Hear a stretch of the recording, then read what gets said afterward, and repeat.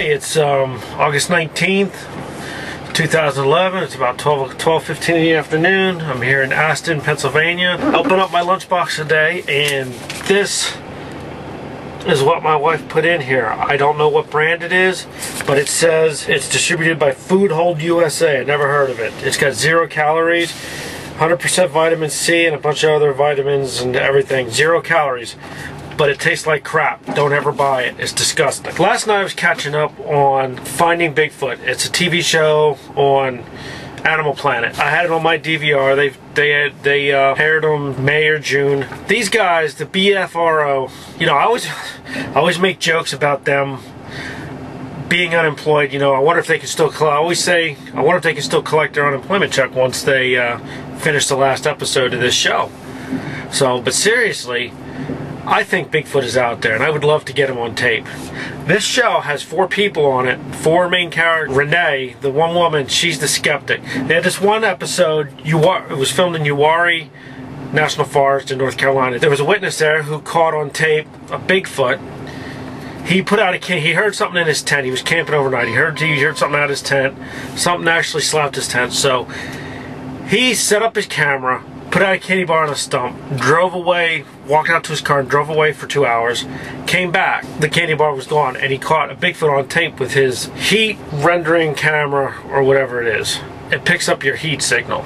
It's a camera that picks up your heat signal. And they these guys, they try to recreate the videos that these witnesses have in order to see if it could be human or not.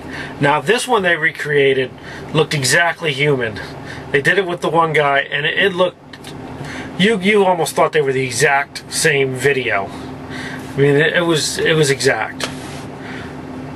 So, but they still said it was a Bigfoot. Ranae was a skeptic. Mike Moneymaker, the other the guy, the leader that runs this thing, he was convinced it was a Bigfoot. I think they're out there. I think Loch Ness Monster exists. I don't think she's really a monster, and I don't think people are seeing the same monster over the years. I think it's um, new generations of monsters. I think there's Bigfoots out there. I know a lot of the woods have are explored, but they're very they they're good. They there's a lot of I mean, after the tsunamis, they discovered a lot of new species, a lot. So it is possible that Bigfoot exists. You know, one time when I was a kid driving down in Delaware, I mean, you got to be open, you got to have an open mind to everything. One time, driving down to Delaware, or driving down North Carolina, we were driving through Dover on Route 13. This is before the highway, before Highway 1. And we're driving by Dover Air Force Base. It's like 3 in the morning. I saw a UFO out my window. Now, everybody I tell the story discounts it and says it's because you were near Dover Air Force Base. And you saw a plane, uh, an aircraft from the from the air from Dover Air Force Base. I don't believe that. I think UFOs they want to hang they they hang around they they hang around military bases. I don't know for what for reconnaissance for studying to see what type of uh, military hardware the world has. Who knows? I don't know, but I believe I saw a UFO. They had one video, they had one guy up in Oregon or Washington, they were videotaping a fishing canoeing trip for their vlog. And they didn't notice it till 18 months later when somebody else was watching their video and said, hey, what's that off to the side in the, on the shore?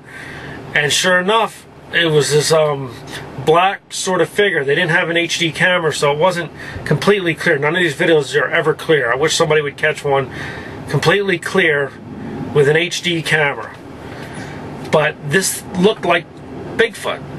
And I believe it was. Now I would love to catch one of these guys on tape. I'd love to I would love to visit Loch Ness and see if I could spot Nessie myself. BFRO guys, these Bigfoot hunters, are a little out there. I would love to go out on Bigfoot hunt. These guys are out in the middle of the night and they got parabolic microphones, night vision cameras, heat vision cameras, infrared cameras. It's just really awesome.